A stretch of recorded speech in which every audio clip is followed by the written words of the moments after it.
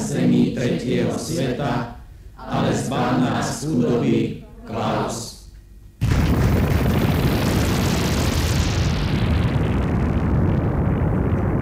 Túto reláciu nesponzorovala firma Hasbrock, výrobca bábik Cindy. Túto reláciu nesponzorovala ani firma Kodak. Túto reláciu nesponzoroval absolútne nikto. Apropo, že by Do počutia.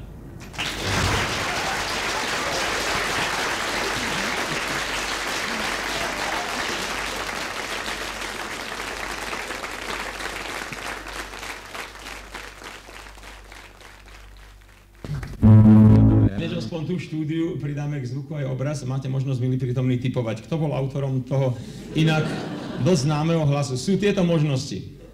Vzadu čaká buď Vladimír Mečiar, alebo Michal Dočolomanský, pozor, Stano Dančiak, alebo ešte možno Sáva Popovič, člen umeleckej skupiny Jana Kopitu. E, podľa vás? jednotka. Jednotka, co tu mám, jak to očíslovať? Vy myslíte Vladimíra Mečiara, a čo vy? Dvojka. Dvojka, Mišo Dočolomanský má hlas. Vy? Jednotka. Jednotka zatiaľ mierne e, vedie. Tam sa asi nedostanem. Povedzte vy. Pán Mančiar. Pán Mečiar, to mi vychádza zase na jednotku. A ešte váš názor? Pán Mečiar. Pán Mečiar. No, no dobre, no tak čo budeme tajiť? K dvom správnym dámam prichádza správny chlap Vladimír Mečiar, predseda vlády Slovenskej republiky.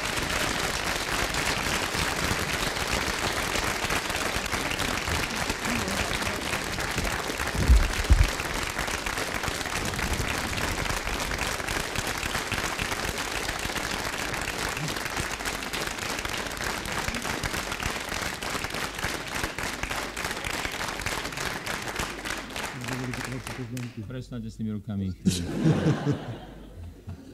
Tento vstup bol nesmierne zaujímavý. Vzadu na obrazovke som videl, že pán Markovič sa s každým príchodiacim boskáva. tak som mal obavy, ako to dopadne so mnou, či to bude vo tri vrhy, alebo či mám uhnúť. Nie, na, na vás bol vytipovaný Brainer.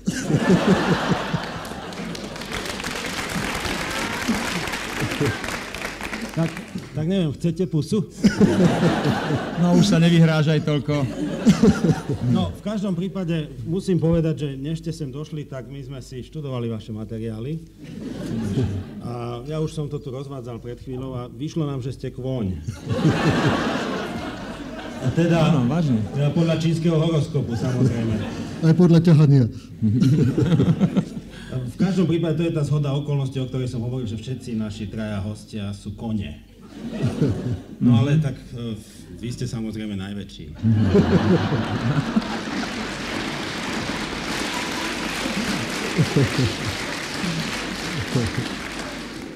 Tí Číňania furt problémy robili. Už náš úvodný pokus naznačil, že ste e, dosť častým objektom pre imitovanie, paródiu. Nemáte dojem, že vám to uberá na vážnosti trochu? Vôbec nie, kým budem originálny, horšie bolo, keby som bol sám imitácia.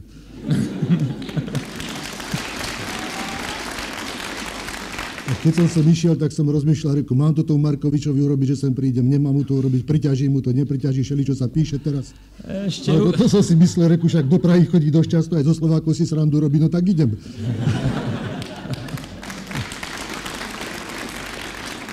No a potom som skúmal vaše metódy, sem tam som si všimol, že tým, čo tu rozprávajú, skáčete do reči, Áno, nenecháte práve som a tak. chcel aj ten. Reku, on to tu cenzuruje. A, a nie, nie, toho Bohdá nebude. Aby... Nie, to... Reku, a takí, čo to urobia potom za dva týždne sú slávni, reku, tak mu trošku pomôžem, nech sa pozviecha.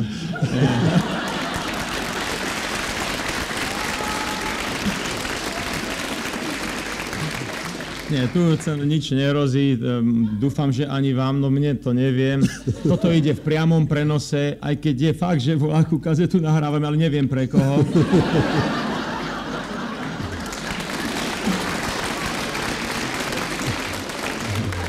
Ale napokon ja, e, ja som počul aj e, pani Milku, ako bola parodovaná. To vše, všetky osobnosti takto zrejme si...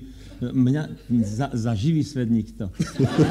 Vám to tiež zrejme urobilo dobrú reklamu. Nie? To, hoci koho nebudú. Ja neviem, či reklamu, ale jedno je pravda, že dievča, ktoré to robí v tom programe, to je ono v štúdiu S, Áno.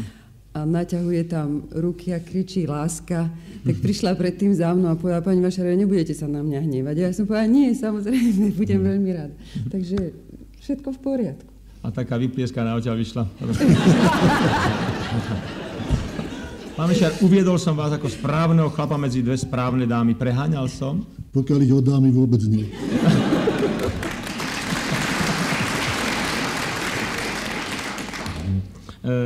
Keď už hovoríme o dámach, rešpekt, ktorý vzbudzujete váhou svojej osobnosti u mužov, zvykne vyvolávať obdiv u žien. Pozorujete, či nebude aj pocítite, pociťujete to nejak? Keď je normálne ticho, tak nie, ale keď je zle, tak naraz zistím, že nás je strašne veľa. Ale ja myslím, že ženy, že či za vami. Nie to kedy. Môže povedať každý. Mali ste minule 20 minútovú pauzu cez deň. Zistil som si. A to bolo ešte v minulom roku. No však nehovorím, že teraz. Lenka, v tejto chvíli by ste sa vy mohli blisnúť. E, Čo za znamenie, nemyslím čínske, podľa vás by mohol byť pán Mečiar? Aké hviezdy ho ovládajú? Aký je váš typ? Ale já jsem říkala, že nejsem úplný odborník, ale když mě takhle zaskočil, no, já bych řekla, že pan Mečár by mohl být bík, mohl by být lev, anebo štír, tak jsem si typovala i podle fyziognomie, ale Bík, opravdu lev nevím. alebo štír, to je Ano. škorpión. Škorpion, ano. Ale nevím opravdu datum narození, takže nevím, jestli jsem se strefila. E, Kto, vyhovuje aspoň jedno z toho? Na druhý raz sa trafila. Takže, takže lev. Znamenie leva je Lev. veľmi dobré, pretože lev to je také sympatické zviera. Zareve a utečie. Toto je ešte Toto ešte sedí, len sa bojím, aby ste neboli král púšte.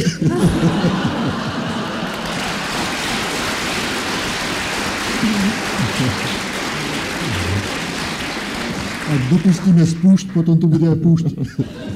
No, je to, je to ešte aj taký doplnok z čínskeho horoskopu, ja už keď to čínov, tak máme rok kozy a ten je pre koňa veľmi taký zvláštny. Je tu napísaný jeden riadok, všetci traja počúvajte, to platí.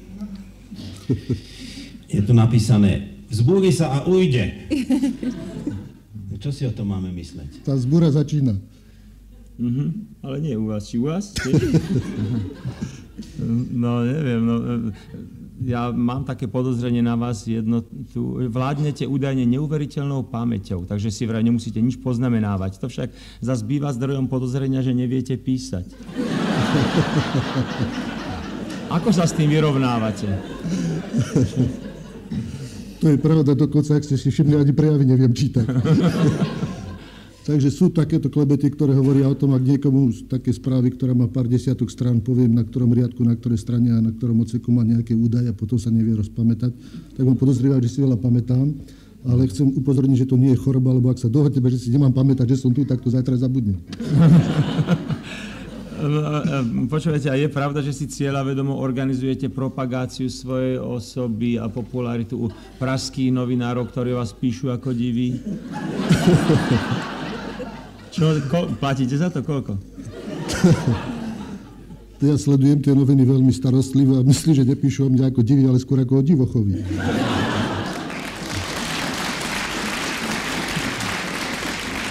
No tak svoj k svojmu, no tak aspoň vidíte, že máme s ním niečo spoločné. Aj v Mladom svete bol rozhovor s vami a tam v poslednom čase nedostalo toľko priestoru veľa Slovákov. I, i- iste aj honorá za to dostanete. Lenže ja som počul, že to je dosť ako zapradanectvo brať české peníze. Ale teraz nie, už sa to dá meniť jednak jedné za slovenské koruny. Aké máte, aký máte vy, milé dámy, vzťah k novinám, novinárom, e, novinovým kritikám napríklad? Tak novinári popíšu všeličo a mm, niekedy to netreba brať ani vážne.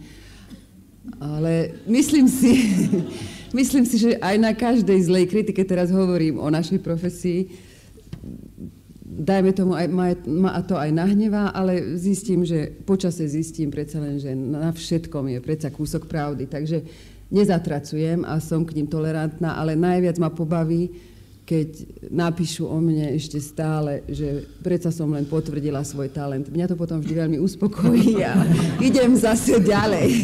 Že, že, že na čase už 55. krát ste potvrdili. Já nic proti ním, eh, pokud eh, články nebo kritiky jsou psaný v, v takovém duchu fundovaným, pravdivým a sympatickým. Tak. No, naj, najnepríjemnejší kritici bývajú e, poslucháči, diváci a na tých vám ste záleží, Lenka, oveľa viac ako na novinároch. Dokážete im napriek tomu spôsobiť trochu starosti tým, že do dnešného svojho repertoáru zaradíte e, niečo pre vás veľmi tak netypické, čo im urobí ťažkú hlavu trochu? Já jim nechci dělat starosti, ale chtěla bych...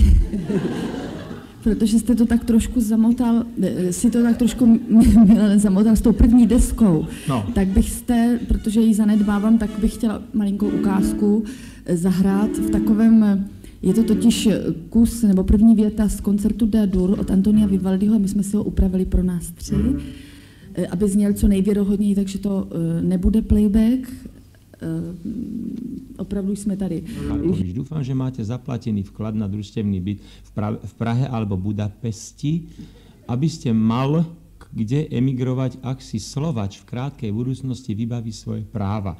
Viete, bolo by nám veľmi nepríjemné stretávať sa s vami a nehovorím ani o vás. Ďakujem. M. Palacková, Hanulová, 3, Bratislava. Takže už viete, kam ste to prišli. E, nepriťaží vám to, ak si Slovač vybaví tie svoje veci? Čo ja viem, kam budete emigrovať vy? No, teraz zaujmite stanovisko a nepokazte si to u národa, no? Ja nemám kde emigrovať, patrím sem a nikde inde by som žiť nevedel.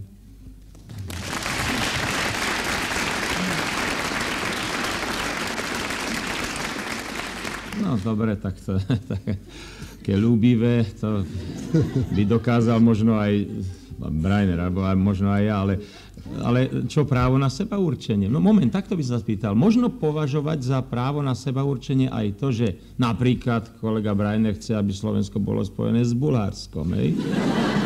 E, ja, ja napríklad si dosť zakladám na takom ako spolužití s Moldáviou, viete? A, a, a vy zas prepitujem s Čechmi, ja neviem. E, je aj toto, e, patrí aj do toho toto právo na seba určenie? Patrí a dokonca pri svojich potulkách po Európe sa pozerám, kde je nejaký menší národ, ktorý by sme zobrali k sebe, aby sme nás po chvíľku boli väčšinoví.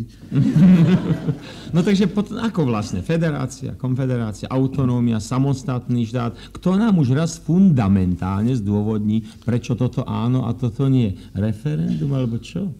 Pán Markovič, ak dovolíte, ja sa to pokúsim fundamentálne zdôvodiť na príklade rodinného života. Áno. Tak tá federácia to je asi také, ako že máte federálnu svokru a potom sú dvaja republikoví mladí. A tá svokra im radí a rozpráva do toho, čo môžu a čo nemôžu a keď neposlúchajú, tak im nedá peniaze.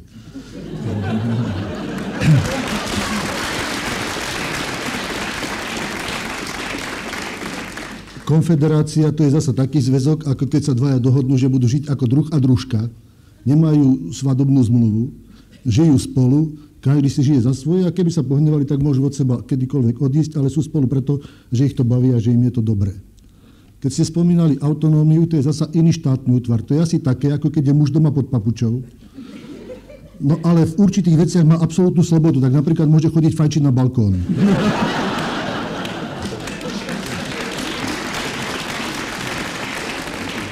Takže to je ako toto. No a pokiaľ ide o ten samostatný štát, tak samostatný to by som prirovnal k stavu, keď ešte pani Markovičová nebola pani Markovičovou. No a to môžete získať dvomi spôsobmi. Buď, že sa vyhnete nástrahám života a sa neoženíte, to je ten jednoduchší prípad, alebo keď to nevíde, že sa rozvediete. Tak si byť slobodný, to je buď akože slobodný, alebo rozvedený, tak si vyberte z toho, čo chcete. No asi takéto sú medzi tým rozdiely. Mhm. No, tak, A vy ste za čo? e, ja som... e, Čo ty hovoríš, Peter? No lebo ja neviem, kto čaká vonku, vieš?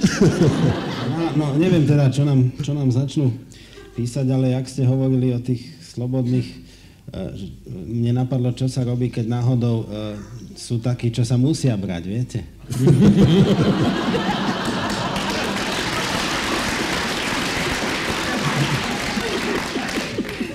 Lebo, lebo svokra tlačí, že to bude hamba, keď to decko bude behať a nebude mať ani matku, ani otca. To myslíš, že to je naša situácia? Neviem, v každom prípade uh, je dobre, keď to decko už ide na svet a nie je jasné, jak to bude s rodinným usporiadaním, aby sa dohodli a dohodnúť sa zrejme dá iba tak, keď každý ústupí, keď teda jeden bude chodiť fajčiť na balkón, ale ten druhý mu bude kupovať tie cigarety. Ja už viem, už som na to prišiel. Ja som za to, aby sme sa vzali, teda aby sme ostali v manželstve, len svokra nejde mimo domu. Dá sa to, ne? Len to neviem, či... To asi sprosto, to sa asi nedá. Ale už keď hovorím o tých manželstvách, tak e, západonemecká firma Pelúza, alebo Pelúca, zrejme v Nitre nám spravila zase ďalší škrt cez rozpočet, pretože nám núka ešte 2000 korún, dvakrát tisíc korún a obeťami sa stanú, pretože nám ešte ďalšie manželstvá prišli, manželia Svobodovci a Komínkovci. Ďakujem a blahoželáme vám pochopiteľne. Hláste sa potom, prosím vás, u pani redaktorky e, Vacvalovej, ktorá vás zorientuje, nasmeruje. E, vy e, sám údajne pracujete na ústave. Je to tak, alebo či nepotrebujete spolupracovníkov? Ale tak je tam skupina ľudí, ktorá na tej ústave pracuje, pracovná verzia je hotová, len je to taká zvláštna situácia. Je veľa tých, čo mi to, tú ústavu nikdy nevideli, ale mi do toho kecajú. Mm vedia mi poradiť, čo by tam malo byť? No tak to má byť predsa pripomienkované, diskutované. čo to tu rozprávate?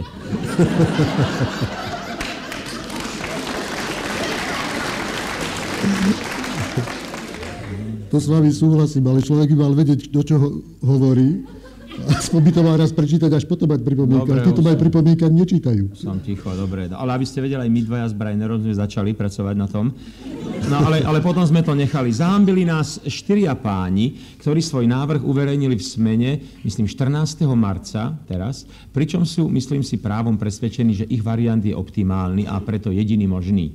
Páni Marian Bednár, Jan File, Pavol Juračka a Robert Kotian vyzývajú slovenskú i svetovú verejnosť do diskusie, čo však neznamená, že akékoľvek podnety a pripomienky budú brať do úvahy.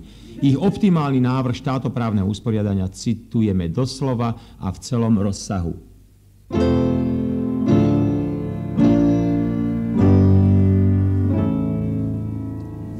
Hlava prvá. E, článok prvý. Slovenský národ má vždy pravdu. Hlava druhá. Slovensko a svet. Slovenský národ nechce mať nič spoločné s Čechmi, Maďarmi, Poliakmi, Nemcami, Rakúšanmi, Ukrajincami a ostatnými národmi. Ak sme na niektorý národ zabudli, ani s ním nechceme mať nič spoločné.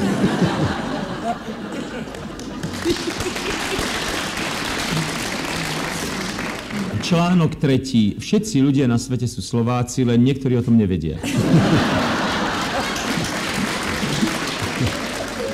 Akékoľvek pochybnosti o znení tohto článku pokladáme za protiústavné.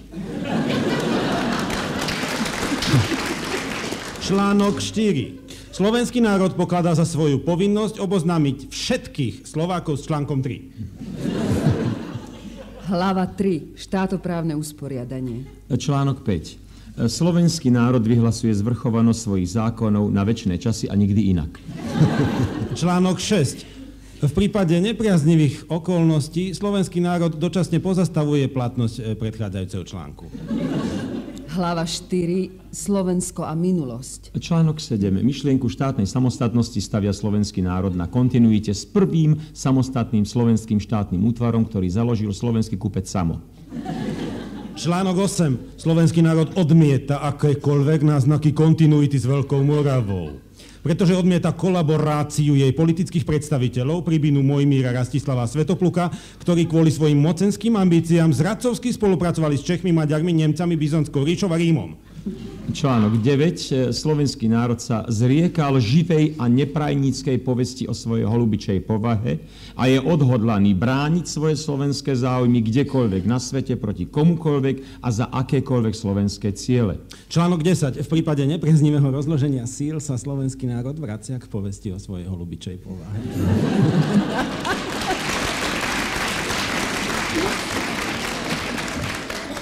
Hlava 5. Slovensko a politická moc. E, článok 11. Slovenský národ principiálne odmieta vodcovský princíp. E, článok 12. Slovenský národ principiálne neodmieta vodcovský princíp, iba v tom prípade, že ho vyhlasuje e, ktokoľvek z akékoľvek tribúny. Hlava 6. Zákonodárne a výkonné orgány. Článok 13. Najvyšším zákonodárnym orgánom Slovenskej republiky je celonárodné zhromaždenie občanov Slovenskej republiky zvolané pri akejkoľvek príležitosti.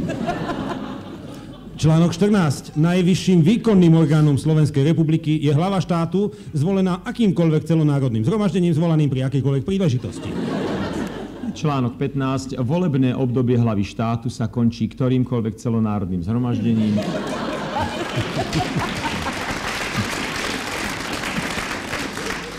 zvolaným pri akejkoľvek príležitosti, na ktorom zaznie minimálne trojminútové skandovanie odstúpiť.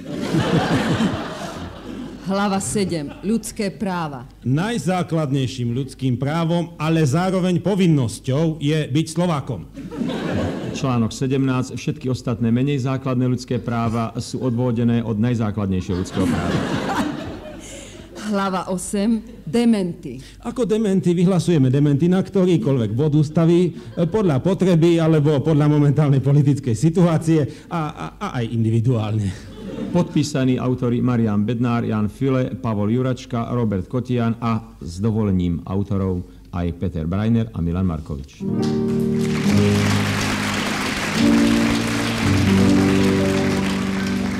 Čo si myslíte, pán premiér, ako zareaguje zahraničie na tento návrh? Ako obvykle bude najprv šokované a potom bude zisťovať, kde to Slovensko je. No ako protiargument máte pripravené, pripravený na... E, aký teda protiargument máte pripravený na zahraničných kapitalistov, ktorí sa sem boja prísť, lebo sa im vidí, že zatiaľ nevieme, čo chceme. Boja sa tých nacionalistov. No také vyjednávanie s tými kapitalistami, ktorí majú peniaze, oni sa už nenazývajú kapitalistu, sa na to urážajú, ale peniaze majú. No a prečo Takže teda to je vždycky potom taký problém, to mi prípada ako, že sobášim tie podniky dohromady a už keď mi všetky argumenty zlyhajú, tak máme borovičku. Je vždy? Väčšinou. A nie sú teritória, kde platí skôr vodka?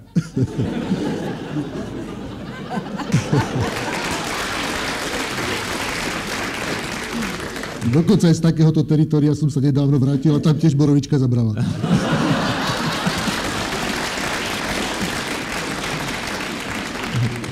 Naozaj chodia vám určite nejaké, čo ja vám tu hovorím, um, pochvali či pohanenia, to je také nereprezentatívne, vám chodia určite aj početné listy. Tak chodia, napríklad som dostal teraz takú filozofickú otázku, pán predseda, čo je lepšie? Veľa spať a málo vedieť, alebo to bude naopak?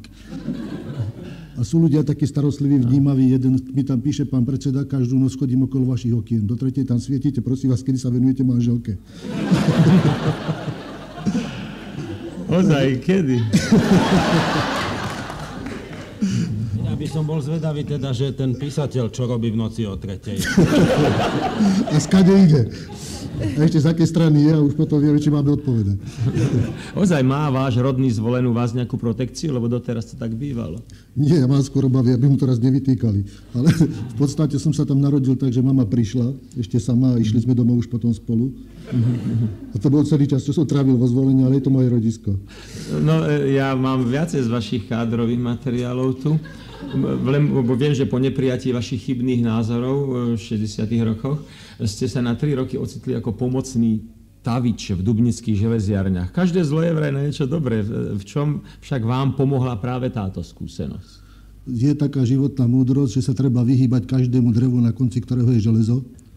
Ale ja som to drevo 3 roky hladkal a zistil som, že má strašne veľkú životnú pravdu a to je životná pravda obyčajných ľudí o tom, ako v skutočnosti život vyzerá, ako sa s nimi zachádza a aký význam spoločnosti majú. Je to škola, ktoré ďačím za veľa a pomáha mi vždycky sa držať pri zemi. No tak dobre, ale slovenským prezidentom sa stanete ťažko, viete. No, s robotníckými prezidentami sú zlé skúsenosti.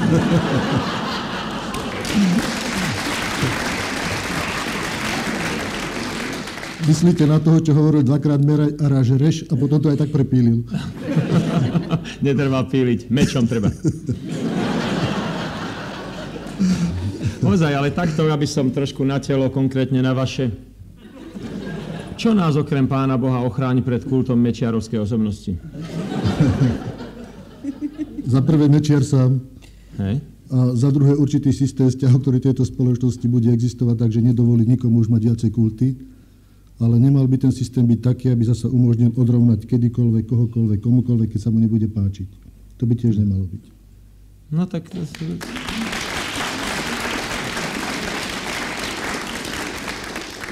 No, mnoho ľudí na Slovensku si veria nevie predstaviť kreslo predsedu vlády obsadené niekým iným a nie vami. Nož ale zase pozrite sa, Tečerová, aká bola a ako dlho a kde je.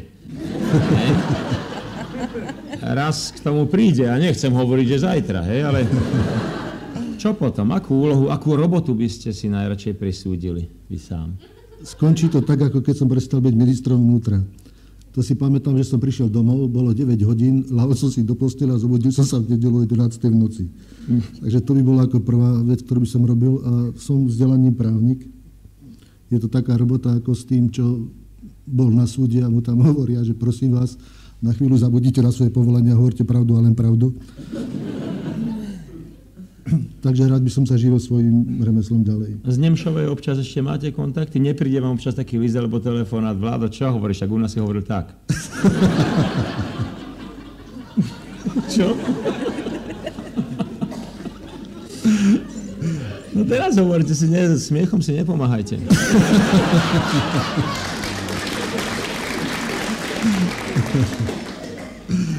Také listy nechodia, skôr hovoria, Vlado, však pošli voláke korunky, veď však si od nás odišiel, zavďač sa rodákom. No tak a čo, skladáte sa potom na vláde, hej? Viete si predstaviť, vy, milé naše dámy, zase som vás zanedbal, nehnevajte sa, že by už nikto raz nebol zvedavý na speváčky alebo herečky. Vraj tá kultúra je teraz taká veľmi nepodstatná. Máte už v krajnom prípade, hovorím, možno úplne e, sa to ťažko splní, teda vyhliadnú tu nejakú inú, povedzme, náhradnú živnosť, vulgárne povedané. Ja by som už nechcela robiť nič. Ja by som strašne chcela oddychovať. Ale keby došlo k najhoršiemu, tak rozmýšľala som aj o tom a otvorila by som si asi cukráre. Veľa, To je ono. veľa by som tam nepiekla, ale už viem asi 4 druhy, ktoré by som tam robila. A hlavne by som robila sezónne koláče, tak podľa toho, aké by bolo ovocie. A myslím, že by, že by možno aj ľudia prišli. No tak to, ja to v najhoršom Ježi, prípade. Krém vám budem miešať. Na moju dušu. Hneď len, len zatiaľ len adresu našu nehovorme, hej? Dobre, dobre. Ešte nebudeme veľa prezrádzať, ale Samozrejme. môžete potom prísť. Pozerať, ako som sa tam nanominoval, čo? Lenka? No mě už se teď zbíhají sliny, když o tom mluvíte, já jsem taky na sladké. To není špatný nápad. Já jsem o tom nepřemýšlela, Milan, já se přiznám, že kdybych asi měla dělat nějaké jiné povolání, třeba v budoucnu, tak by to bylo určitě něco s lidmi. To znamená, byla bych stále v kontaktu s lidmi. Hypnotizérka a tak. Tak třeba. Mhm. No, e, v poriadku, taký nezáujem hneď teraz o tvoje pesničky Vary nehrozí. Využi to prosím ťa ešte raz. A čo je to štrajk? Štrajky to boli také, že niektorí ľudia sú takí sprostí, že oni ne, im nestačí, keď sú voľby a pri tých voľbách dajú jeden volebný lístok, ktorý strčia do tej chránky, schránky a oni musia chodiť e, na ulice, na námestia, tam musia vykrikovať a, a nech žije taká, taká strana.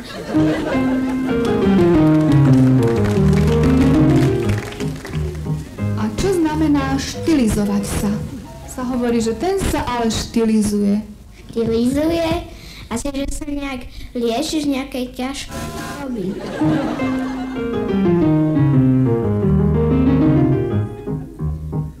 Čo je to štós? Že jeden chlapček hovoril druhému, že pozri sa, jen ten vták je pštros a ukázal a nakreslil mu ho a on chcel, on chcel prekvapiť rodičov a chcel vedieť povedať, že ako sa ten vták volá, tak si ho opakoval pštros, pštros, pštros a nakoniec doma povedal pštos.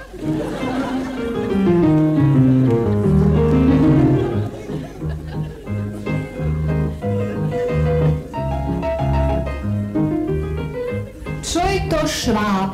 Šváb? To je komár. Hnoji a v takomto svinstve, z toho sa živí. On si, on si robí aj také maličké guličky.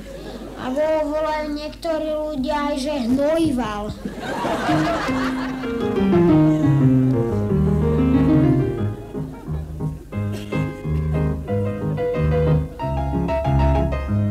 Šafáriť, Janko. Šafáriť. Taký šafár, že ho volali tak. Iní chalani tam vykrikovali. Šafáriť. Šafáriť.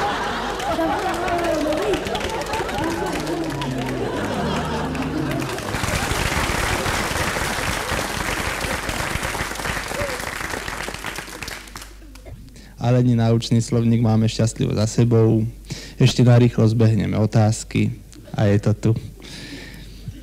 Aby sme to zbytočne nezdržiavali, tak humoristov prosím na scénu. Nech sa páči.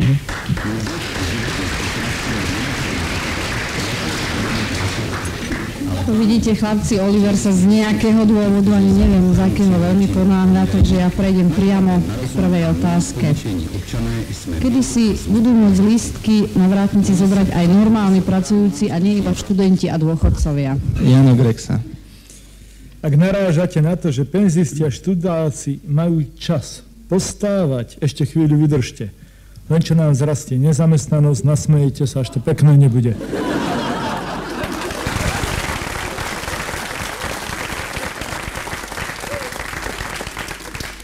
Prečo ste aj vy, teda ako my v Humorikone, nepozvali pána Mečiara? Jano Snobko, prečo sme nepozvali? Pozvali sme ho, ale neprešlo to cenzúro VPN. Vraj pán Mečiar si už svoj na tento mesiac povedal, máme pozývať iných humoristov, tam ich vraj majú dosť.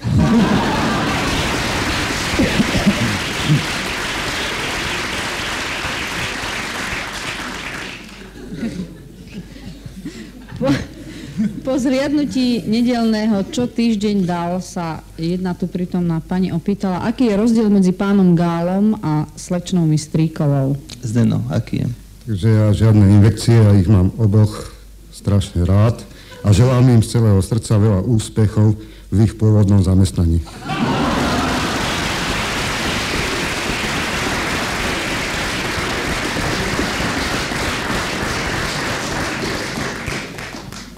Jedna pani učiteľka, že poradila e, jednej tu prítomnej mladej dievčine, či by si nešla zarobiť podhrad celej triede. Či sa teda oplatí ísť zarábať si podhrad? Ja Vidím, že je to triedny prístup. Zrejme vám pani učiteľka odporúča názorné vyučovanie, ale namiesto socialistickej revolúcie si máte prebrať zrejme sexuálnu. Takže namiesto internacionály radšej spievajte money, money, money. Prečo sa pán Andráši stále hojdá na stoličke? Prečo? Jano Snobko.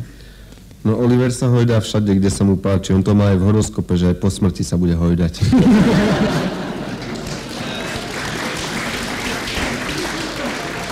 Ja si myslím, že si to už skúšal, už vysel vo výťahu. Yes. Jeden tu prítomný mladý otecko sa pýta, ako si má vysvetliť, keď mu syn na otázku odpovedá lebo medvede.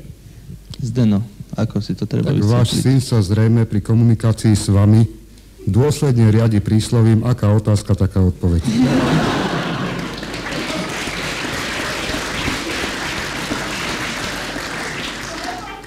Už sme tu spomínali, že Oliver zostal vysieť vo výťahu tesne pred začiatkom tejto nahrávky, tak niekto sa to tu dozvedel a hneď položil otázku, či pán Andráši ostal vo výťahu sám alebo s niekým. Jano, čo ty o tom vieš?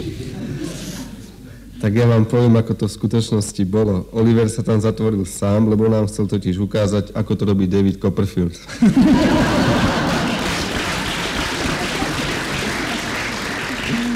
Mladý muž položil otázku, moja mama robí v kaderníctve, jedna zákazníčka si chcela dať vlasy zafarbiť na čierno, ale nie moc tmavo. Aká to je farba? Jano Kreksa.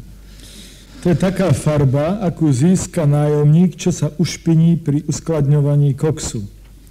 Keď mu však povedia cenu za koks, zbelie. Takémuto strašne drahému koksu sa dnes na Slovensku hovorí Hitchcocks.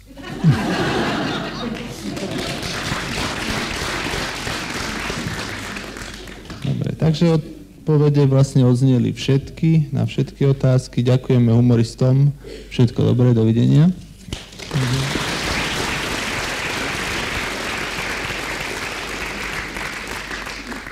A teraz, vážení poslucháči, teraz to príde.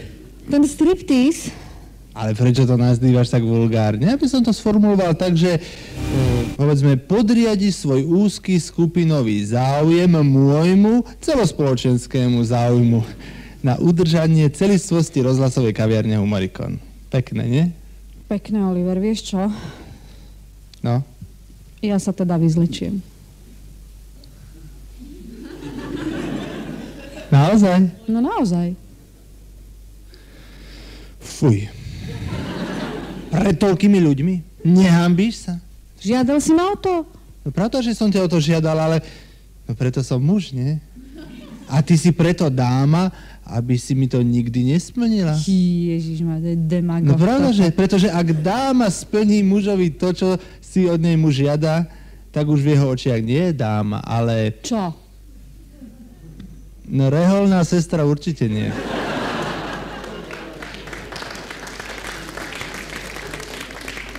Oliver, mňa už to vážne nebaví. Musíme to nejako rýchlo už uzavrieť, fakt. Dobre, Ale rýchlo. Uzavrieme to No. spoločne, dobre? No, no? Ja by som to povedal takto. Dúfajú, že naša kaviareň nasledujúce ťažké obdobie prežije v celistvosti. Pričom však ani jedna z jej dvoch zložiek sa nebude musieť prostituovať. Sa na najbližšie stretnutie, ktoré bude o mesiac, tešia tieto dva suverénne subjekty. Elena Vacvalová. A Oliver Andráši. Dovidenia a do počutia, priatelia.